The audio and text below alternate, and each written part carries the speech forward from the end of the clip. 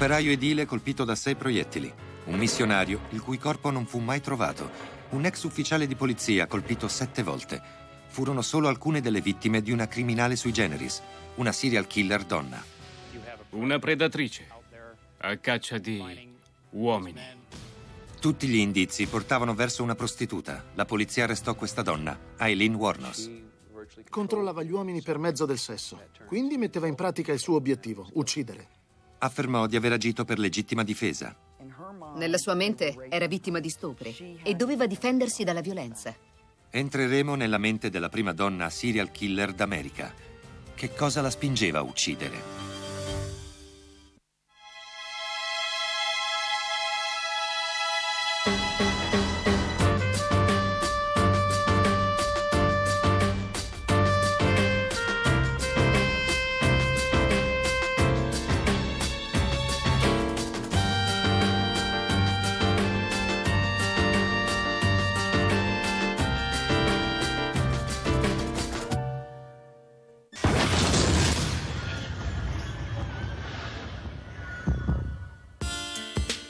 Sono piena di amore, di compassione, di gentilezza.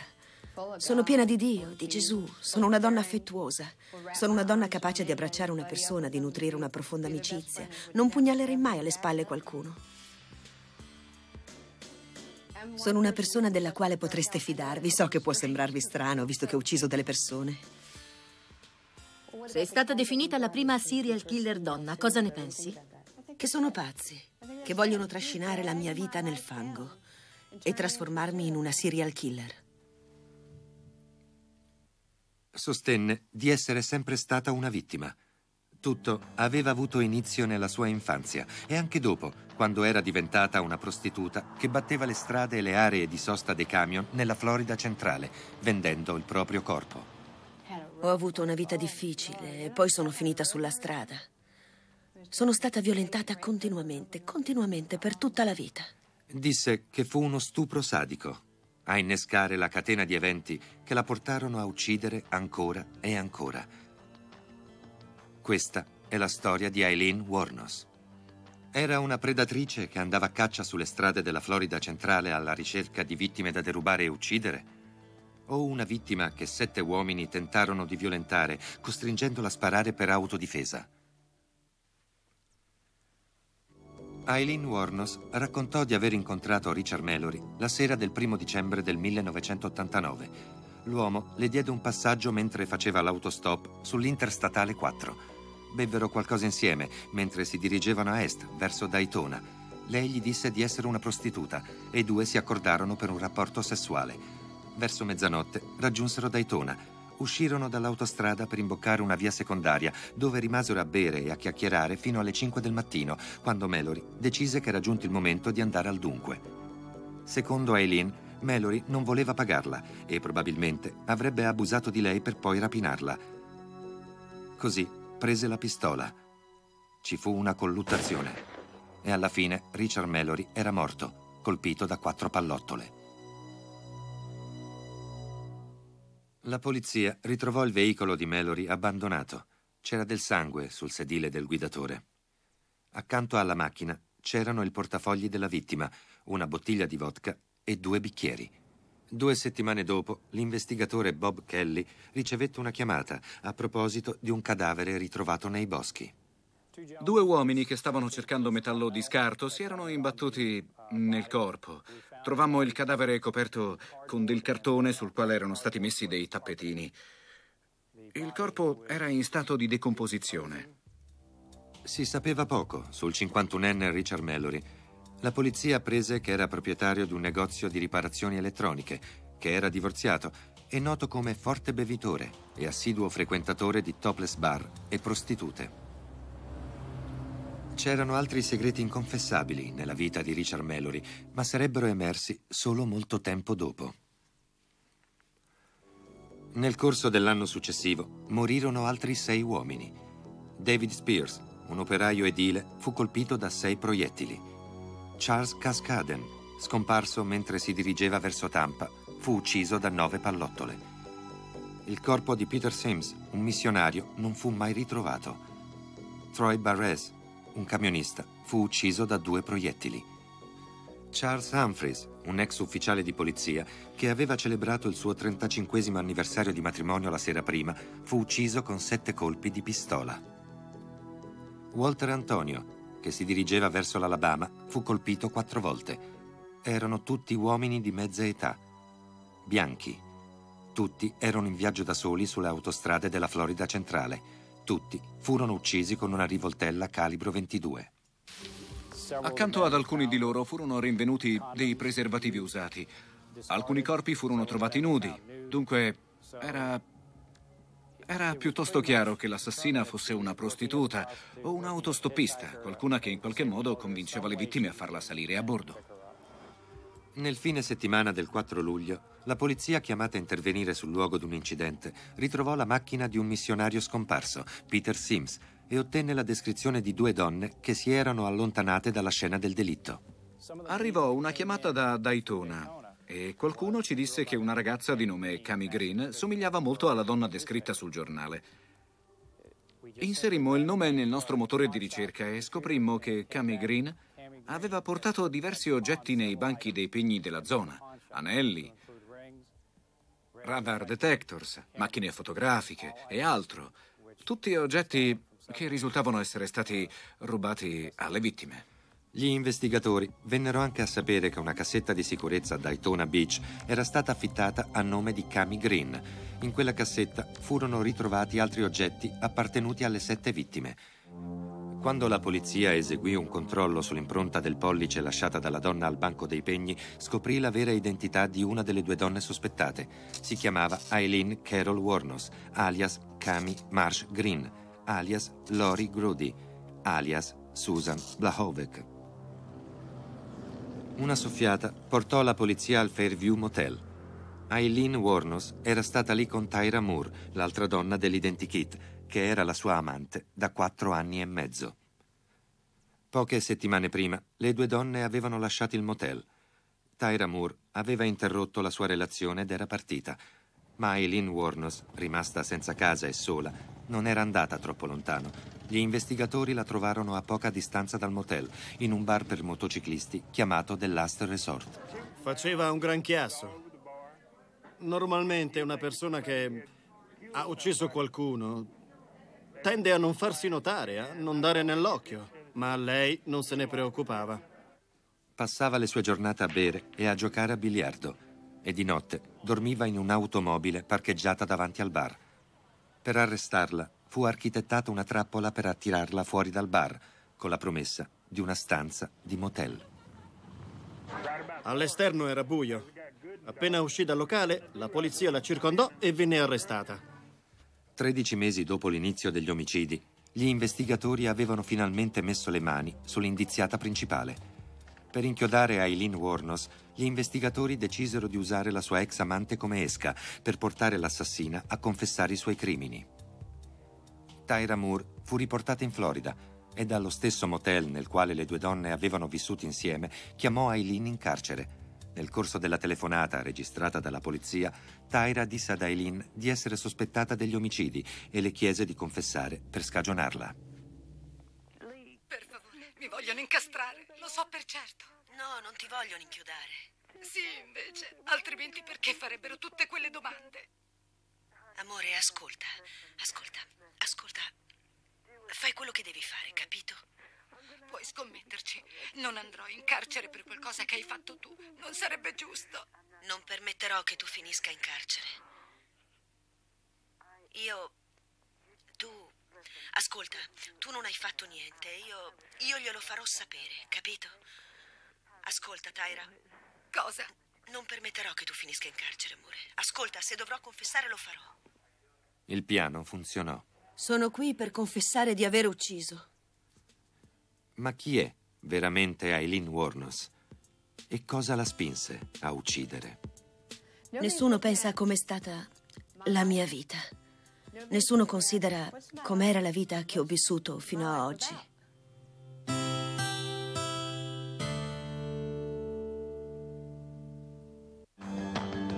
Le vittime dei serial killer di Norm sono donne e lavorano come prostitute. Quando una prostituta viene assassinata, Raramente qualcuno se ne accorge e difficilmente qualcuno la piange. Ma Eileen Warnos stava per cambiare tutto questo. Sette uomini erano stati ritrovati senza vita lungo le strade della Florida centrale nell'arco di un anno e Eileen Warnos, una prostituta, aveva ammesso di averli uccisi. Serial killer donne sono molto molto rare. Non ricordo neanche un caso in cui una donna ha ucciso più persone con una pistola. In realtà l'uso di un'arma da fuoco è raro anche tra i serial killer maschi. Le donne di solito usano mezzi più subdoli, avvelenano le loro vittime e uccidono fidanzati o amanti. Nei casi delle infermiere killer le vittime sono uccise con un'overdose di qualche farmaco.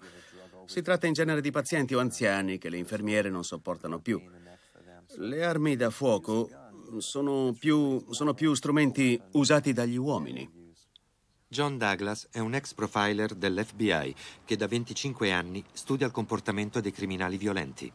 La domanda che di solito mi viene rivolta è serial killer si nasce o si diventa? Non ritengo possibile che qualcuno nasca per essere un serial killer. Può esserci una predisposizione, qualche, qualche scompenso della personalità, ma tutti i serial killer che ho studiato, e anche gli assassini comuni, hanno sempre un passato difficile. Eileen Warnos non faceva eccezione. La sua storia aveva avuto inizio a Troy, nel Michigan. Era cresciuta al numero 1429 di Cavagner Street, la più giovane di quattro figli. Almeno così pensava, fino a quando, all'età di sette anni, scoprì il segreto della famiglia. Quelli che chiamava papà e mamma erano, in realtà, i suoi nonni. Lei e suo fratello erano stati abbandonati dalla loro vera madre.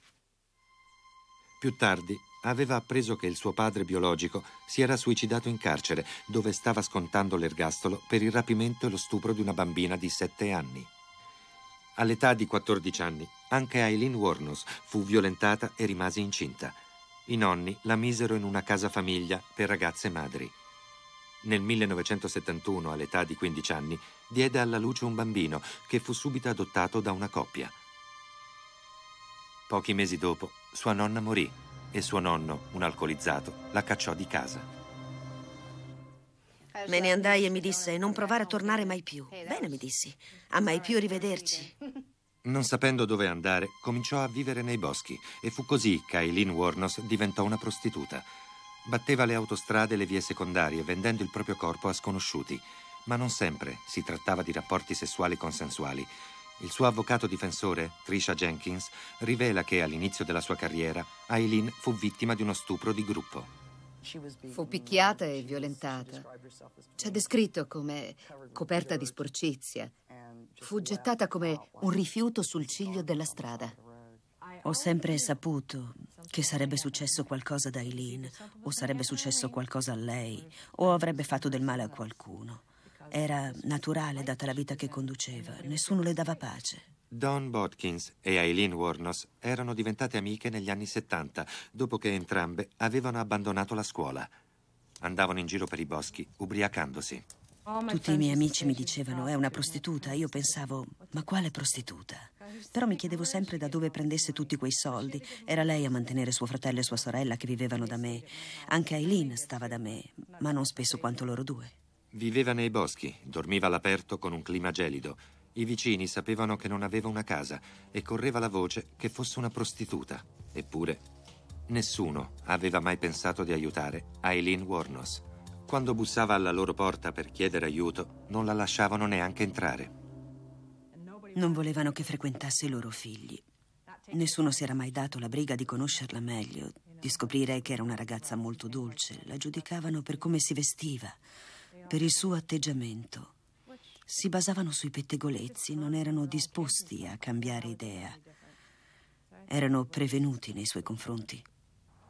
Senza casa, al freddo, Eileen Warnos diede inizio a un lungo viaggio che alla fine la portò in Florida. Avevo 15 anni, quasi 16, era il 2 gennaio, quando finii sulla strada e da allora non l'ho mai lasciata per tutta la vita, ad eccezione di Daytona. Lì si sposò con un uomo che aveva 50 anni più di lei, ma durò poco. Quindi, nel 1982, fu condannata per una rapina a mano armata in un negozio. Infine, tornò a fare ciò che sapeva fare meglio. Eileen Warnos ricominciò a vivere come un tempo e tornò sulla strada. Ogni giorno sceglievo un tratto di strada, ad esempio da Daytona a Tampa o da Daytona a Lake City o magari da Daytona a Port Myers. Decidevo dove fermarmi a dormire e passavo dalle 8 alle 12 ore sulla strada come minimo. Aveva dai 25 ai 30 clienti al giorno e ogni volta che saliva a bordo di un'automobile racconta che non sapeva mai cosa doveva aspettarsi. Ho usato spray, quelli urticanti, ho usato un coltello, ho usato i pugni e ho usato anche la psicologia su quegli idioti facendo la pazza. Ho usato ogni maledetto trucco per evitare di farmi ammazzare, per evitare uno stupro. Ne avevo subiti tanti.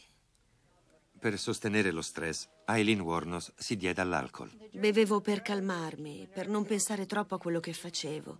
Bevevo solo birra, niente whisky. Non volevo essere sbrunza perché con la vita che facevo, beh... Non potevo permettermi di essere poco lucida, dovevo essere sempre allerta, ma psicologicamente era tutto davvero molto pesante, uno stress terrificante. A casa, intanto, nel Michigan, suo fratello Kit morì di cancro alla gola all'età di 21 anni e suo nonno si suicidò. Eileen Warnos rimase sola al mondo fino a quando incontrò una donna destinata a diventare la sua amante. Non ci si può innamorare veramente in questo mondo schifoso, perché l'amore può portarti a commettere dei crimini. Le è successo questo? Ha commesso crimini per amore? Sì, è così rischi di impelagarti in qualche attività illegale se sei troppo innamorato di qualcuno.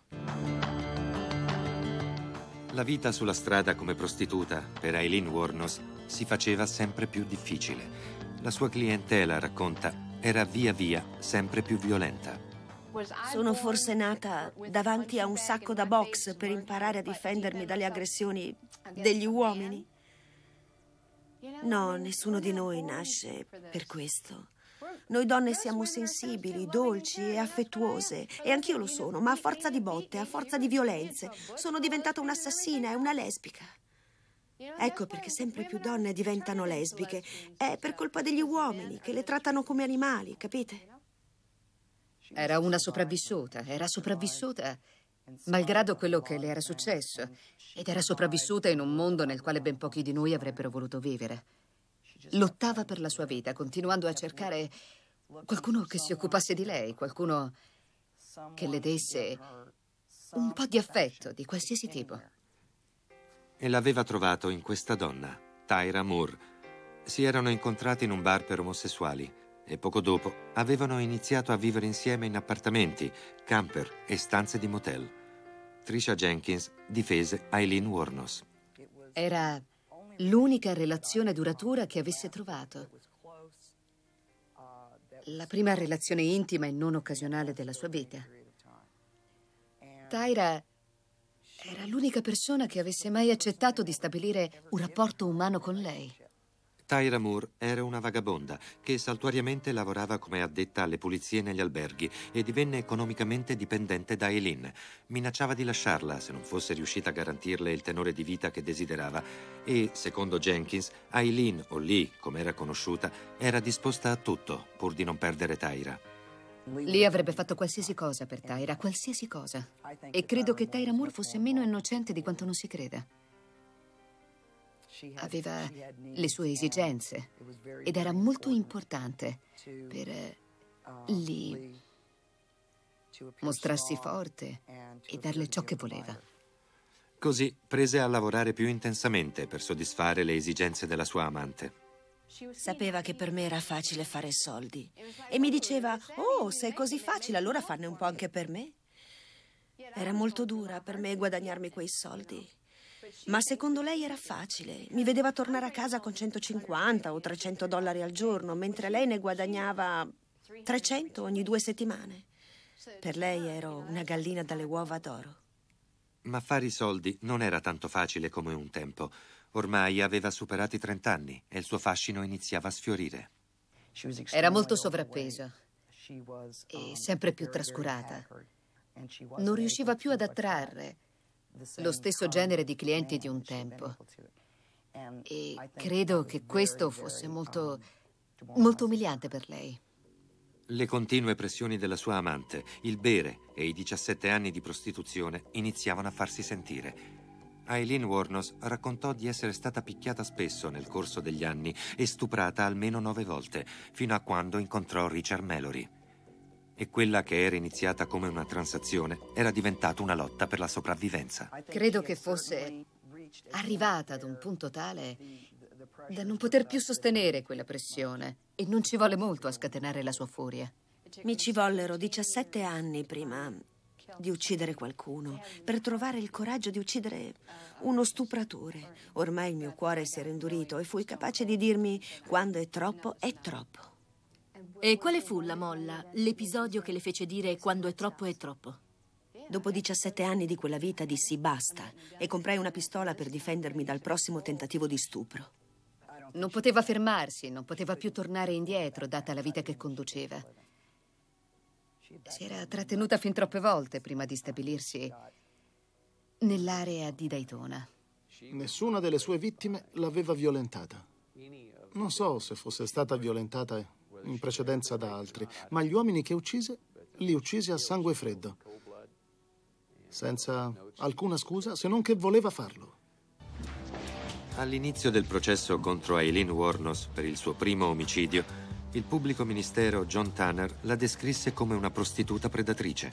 Le donne che si danno alla prostituzione a volte sono delle vittime, altre volte invece hanno il pieno controllo della situazione e ritengo che Eileen Warnos appartenesse a questa seconda categoria. Controllava gli uomini con il sesso, fino a raggiungere il grado ultimo del controllo, e cioè ucciderli. Tanner disse alla giuria che l'uccisione di Richard Mallory era stata premeditata, un crimine che, in Florida, è punibile con la pena di morte. Aveva escogitato un piano e lo portò avanti fino alle estreme conseguenze. Prese a Richard Mallory tutto ciò che aveva, compresa la sua vita. Era ovviamente un'assassina a sangue freddo che, che sceglieva attentamente le sue vittime. Uomini, uomini virtualmente inermi. Infatti non reagivano quando lei gli sparava. Li, li uccideva e, e li derubava e, e si sbarazzava dei corpi. Nella sua mente la stavano violentando e doveva difendersi a tutti i costi. Ma non la pensava così anche Tyra Moore, la donna che era stata per quattro anni e mezzo l'amante e la migliore amica di Eileen Warnos, finì per diventare la testimone chiave dell'accusa. Mi disse che quel giorno aveva ucciso un uomo. E lei le disse qualcosa? No, non volevo crederci. Ero sconvolta. Più tardi mi disse di aver nascosto il cadavere nei boschi, coprendolo con un telo. L'unica cosa che riconosco ai poliziotti è che hanno fatto testimoniare Tyra perché era innocente. Tyra affermò anche che Eileen non raccontò mai di essere stata stuprata, tantomeno di essere stata vittima di abusi sessuali. Guardandola, notò qualche ferita sul suo corpo? No, non vidi alcuna ferita. E quella mattina, quando andò al lavoro? O la sera stessa? No. Tyra Moore non solo sapeva che Eileen aveva ucciso Mallory, le due donne avevano usato l'automobile della vittima dopo l'omicidio. Tyra continuò a vivere con Eileen per un altro anno, durante il quale Eileen uccise altri sei uomini. E sebbene i suoi sospetti fossero sempre crescenti, Tyra non andò mai dalla polizia per dire ciò che sapeva sulla morte di Mallory. Non credo che siamo riusciti a vedere la vera Tyra Moore. Era lei la violenta. Le nostre indagini hanno evidenziato come ogni volta che la coppia usciva e andava in un bar era sempre Tyra ad attaccare briga. Abbiamo trovato rapporti della polizia che si riferivano a diversi episodi nei quali Tyra aveva aggredito qualcuno. Era sempre lei a cominciare e lì ogni volta interveniva in sua difesa. Tra le due la violenta era Tyra. Dopo la telefonata con la quale Tyra Moore era riuscita a convincere con l'inganno la sua amante a confessare, Eileen Warnos rese alla polizia una confessione di 3 ore e 20 minuti, nel corso della quale ammise di aver ucciso sette uomini. L'accusa presentò in tribunale una versione montata della confessione, ma riguardava soltanto l'uccisione di Richard Mallory, l'unico omicidio per il quale Eileen era in quel momento sotto processo. Nella registrazione, Eileen raccontò alla polizia di essersi infuriata perché Mallory si era rifiutato di togliersi le mutande prima del rapporto carnale. Avevano litigato e lui l'aveva aggredita. Ecco dalla sua viva voce il racconto di ciò che era accaduto in seguito. Saltai fuori dalla macchina con la mia borsa. Estrassi la pistola e gli dissi scendi. Lui disse che succede? Gli dissi hai tentato di violentarmi. E lui no, no, non è vero. E io sì, invece stavi per violentarmi, amico. E gli dissi di allontanarsi immediatamente dall'automobile. Ma successivamente fornì una versione dei fatti diversa dalla prima. Iniziammo a lottare, ci fu una colluttazione. Balzai fuori dalla macchina, lui prese la mia borsa, provocando uno sparo. Quindi riuscì a riprendermi la borsa, togliendogliela dalle mani, e presi la pistola. Un istante dopo gli sparai. A quel punto avrebbe potuto andarsene in automobile o fuggire a piedi senza ucciderlo. Invece, da come lei stessa ha descritto, scese dall'auto dalla parte del passeggero, andò davanti alla macchina, dove era il signor Mallory, e gli sparò di nuovo. Lui cadde a terra. Lei si avvicinò e gli sparò altre due volte. Tricia Jenkins, l'avvocato difensore di Eileen Warnos, sostenne che Eileen era vittima del proprio passato, vittima della sua professione e soprattutto vittima di Richard Mallory. Per dimostrarlo, chiamò Eileen Warnos alla sbarra per raccontare alla giuria ciò che era successo nell'auto di Mallory prima dell'omicidio.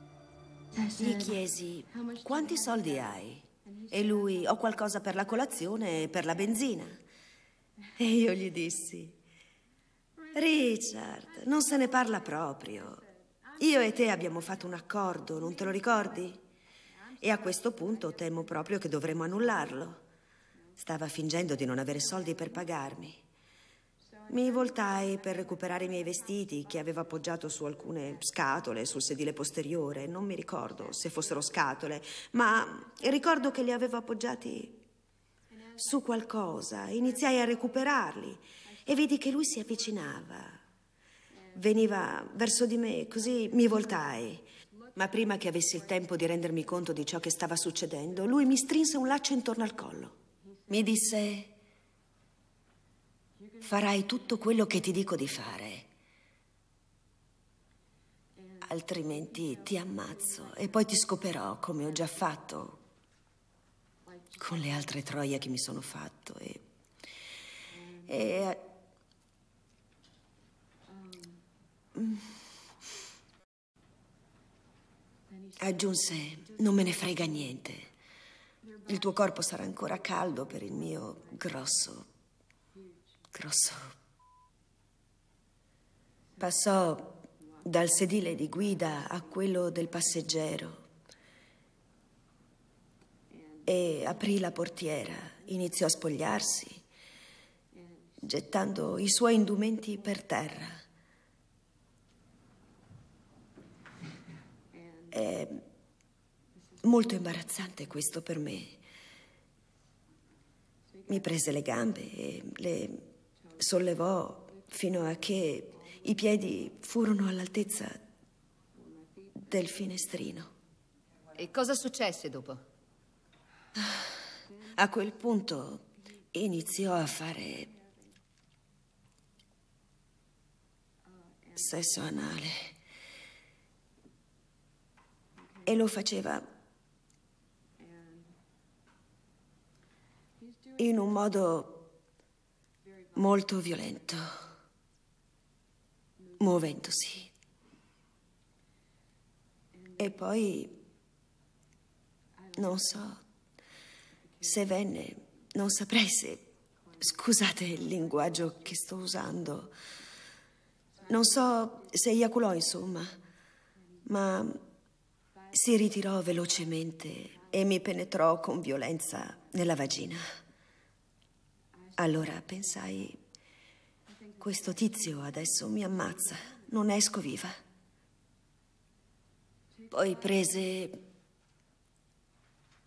una bottiglia e la riempì di, di qualcosa che mi sembrò dell'alcol, almeno così credo e introdusse la la bottiglia con forza nel mio retto. Fu molto doloroso perché poco prima mi aveva procurato delle ferite.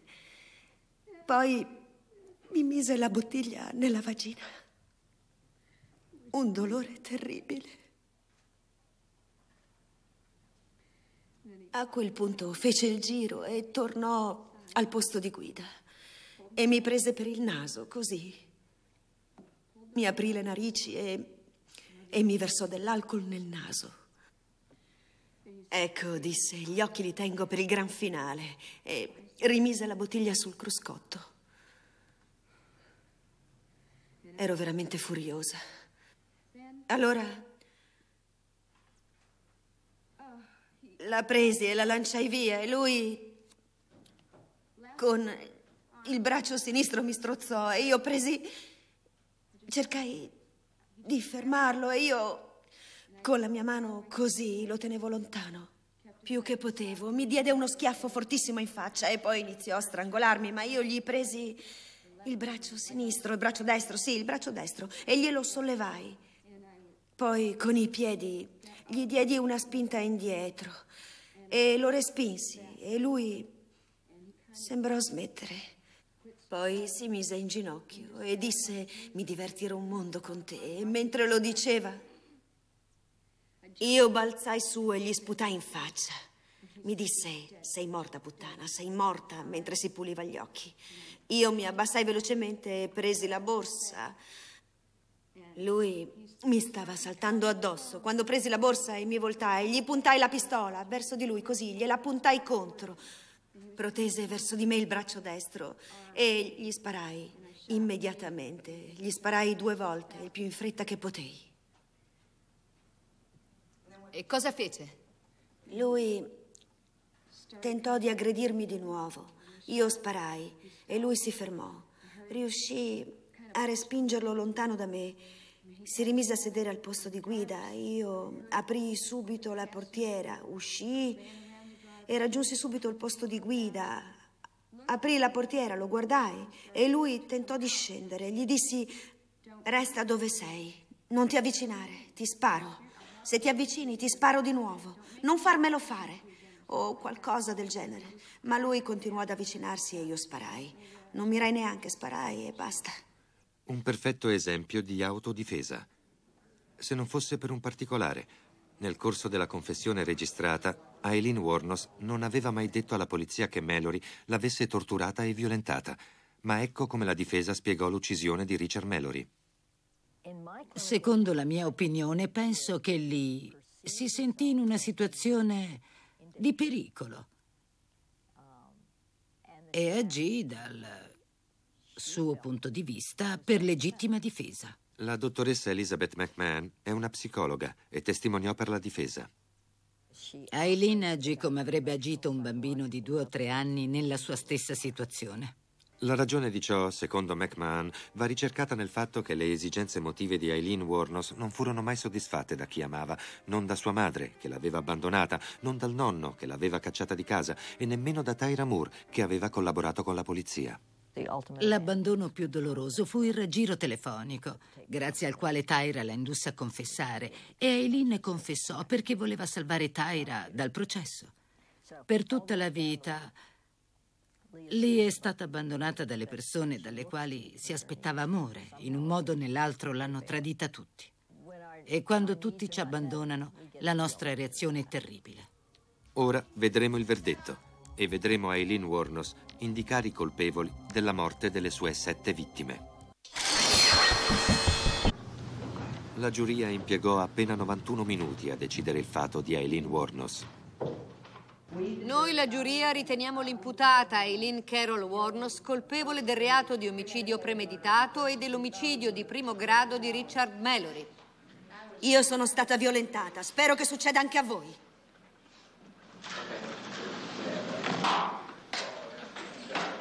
Sacchi di merda. Quando urlò contro di noi, pensai, ecco la Eileen che non avevamo visto in aula. Probabilmente la stessa Eileen Warnos che aveva ucciso in preda alla furia. Aileen, cosa ne pensi del verdetto? Hai qualcosa da dire? Sono innocente. Sono stata violentata, torturata. C'era una foto del volante dell'automobile e il volante era pieno di abrasioni, era in pezzi. Quella foto provava che ero stata legata al volante e torturata. È incredibile quello che è successo. La portavoce della giuria, Pamela Mills. Una donna aggredita, che è stata violentata, che ha preso un'arma e sparato al suo aggressore, scappa più veloce che può, si allontana. Ma lei gli sparò altre tre volte, nascose il corpo, gli rubò l'auto, lo spogliò di tutti i suoi averi. E il giorno dopo si trasferì e nascose la macchina. Non mi sembrano le azioni di qualcuno che teme per la propria vita. Secondo me erano premeditate. La giuria invocò la pena di morte. A quell'epoca non esisteva l'ergastolo senza condizionale. Se fosse stata condannata all'ergastolo sarebbe probabilmente uscita dopo 25 anni e io non volevo che tornasse in libertà perché non pensavo che il carcere potesse cambiarla. Se fosse uscita 25 anni dopo avrebbe ricominciato a fare le stesse cose che faceva prima. Non conosceva altri modi per guadagnarsi da vivere. Era l'unica vita che conosceva. Chiedemmo la pena di morte perché non volevamo che tornasse in libertà. Prima della sentenza, Aileen Warnos rilasciò una dichiarazione. Prima di tutto vorrei dire che sono stata definita una serial killer e io non sono una serial killer. Mi è stata affibbiata questa etichetta perché la mia storia coinvolge molti uomini ma io ero semplicemente una prostituta. E prostituendomi ho avuto a che fare con, con molti uomini, tra i 200 e i 250 al mese. Ho avuto a che fare con tutti questi uomini a causa del mio lavoro di prostituta. Una volta mi è stato chiesto se il fatto che l'imputata fosse una prostituta avesse influito sul mio giudizio e dunque sul mio voto. Ho risposto no, perché anche una prostituta può essere violentata. Ciò che la giuria non sapeva era che nel 1958 Richard Mallory era stato condannato per un tentativo di stupro e che per quel reato aveva scontato nove anni di prigione nel Maryland. Il fatto che la vittima, prima di essere assassinata, avesse in passato commesso un crimine e fosse stata punita per quel crimine, non aveva niente a che vedere con il processo in esame. Questo dettaglio della vita di Mallory non fu mai presentato in tribunale perché la difesa lo apprese solo alla vigilia del processo. Quando la difesa chiese tempo per poter approfondire la questione, il giudice lo negò. Questo avrebbe potuto influenzare la giuria? Non credo che un episodio di 27 anni prima avesse qualcosa a che fare con il processo in atto. Questa corte ha deciso che lei, Eileen Carol Warners, sia sottoposta alla sedia elettrica fino a che morte non sopraggiunga. Aveva commesso l'errore di uccidere uomini di mezza età e di razza bianca. E in una comunità estremamente conservatrice e quindi insensibile alle sofferenze che aveva dovuto attraversare nella sua vita di prostituta. Per molte persone era stata una sua scelta e se l'era meritata. Due mesi dopo, nella contea di Marion, in Florida, Eileen Warnos cambiò avvocati e rinunciò a dimostrare la propria innocenza per gli omicidi di Troy Barres, Charles Humphreys e David Spears. Come si sente ora? Felice, perché presto sarò con il Signore. Ne sono certa, perché ho detto la verità. All'avvicinarsi della sentenza, Aileen Warnos tornò a ripetere che aveva ucciso per salvarsi la vita. A quanto pare a voi non importa se una prostituta muore. Questo è un fatto. Ritiene che meritasse di morire? No, fu un omicidio giustificabile. Le furono comminate tre ulteriori pene di morte e subito dopo ecco che cosa dichiarò al pubblico ministero. Sarà iniziato che a partire da... e i tuoi figli siano violentati. La condanno a morte per E l'omicidio. al giudice dopo la sentenza. Siete dei figli di puttana. Ma quante volte volete uccidermi? Sono solo stronzate. Aileen Warnos si dichiarò colpevole degli omicidi di Walter Antonio e Charles Cascaden. A quel punto aveva già totalizzato sei condanne a morte. Oggi vive nel penitenziario di Broward alle porte di Fort Lauderdale, nel braccio della morte. Il suo avvocato ha fatto ricorso in appello e se dovesse perdere, Aileen sarebbe giustiziata con un'iniezione letale. Il che per lei andrebbe anche bene, preferirebbe morire piuttosto che trascorrere tutta la vita in carcere o in qualsiasi altro luogo nel quale rischiasse di essere violentata. Non voglio lungaggini nella mia esecuzione, voglio solo raggiungere Dio. E io non... Se avessi fatto quello che dicono, io... mm, Non potrei e non vorrei. Vuoi veramente morire? Sarebbe meglio, sì. Se fossi condannata all'ergastolo, sarei stuprata di nuovo e tornerei a uccidere. Probabilmente. Sono talmente ossessionata dall'idea di essere violentata che potrei uccidere di nuovo. L'ergastolo non servirebbe, meglio morire. Che accadde con Richard Mallory? Le tornarono in mente esperienze precedenti? No, niente del genere. Le cose che ho fatto non le rivivo. Nemmeno in sogno. Non. Non mi capita mai di sognare quegli episodi, nessun flashback, niente di niente. Non ho amici immaginari e non sento le voci, se è questo che volete sapere. Non di meno, Eileen Warnos prova rimorso. Mi dispiace di averli uccisi, di aver ucciso quegli uomini, tutti. Ma sono anche arrabbiata perché loro mi hanno costretto ad uccidere. Loro, secondo Eileen, sarebbe la polizia. Sostiene infatti di essere vittima di una cospirazione. Secondo lei la polizia sapeva tutto e avrebbe potuto fermarla in tempo, ma non aveva voluto farlo.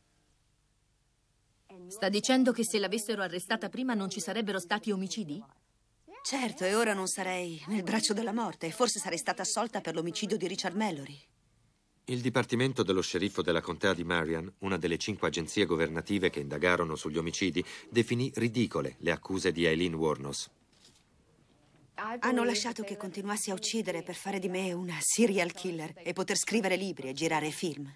Gli avvocati di Eileen Warnos denunciarono che tre investigatori della contea di Marion avevano stipulato accordi per trasformare il caso in un libro e in un film. Accordi che furono annullati quando la cosa divenne di pubblico dominio. Inoltre, in seguito, si venne a sapere che dopo un'inchiesta interna sulla condotta degli ufficiali di polizia, tutti e tre gli investigatori furono assegnati ad altri casi. Un portavoce del Dipartimento dello Sceriffo negò che vi fosse stata un'indagine interna sulla condotta dei tre agenti. Disse che solo un agente fu assegnato a un altro caso, e ciò dietro sua esplicita richiesta. E che cosa risponde a chi dice, sai, parliamoci chiaro, hai ucciso sette uomini e tutto il resto non conta, sei responsabile. Che cosa risponde a questa gente? Beh, non ho una vera risposta perché non ho alcun interesse a mm, salvarmi la vita. Per niente. Giustiziatemi, andrò a incontrare Gesù Cristo. Ricordate, Dio ha detto mia è la vendetta e io lascerò che sia lui a occuparsi della faccenda perché io sono stufa. Addio.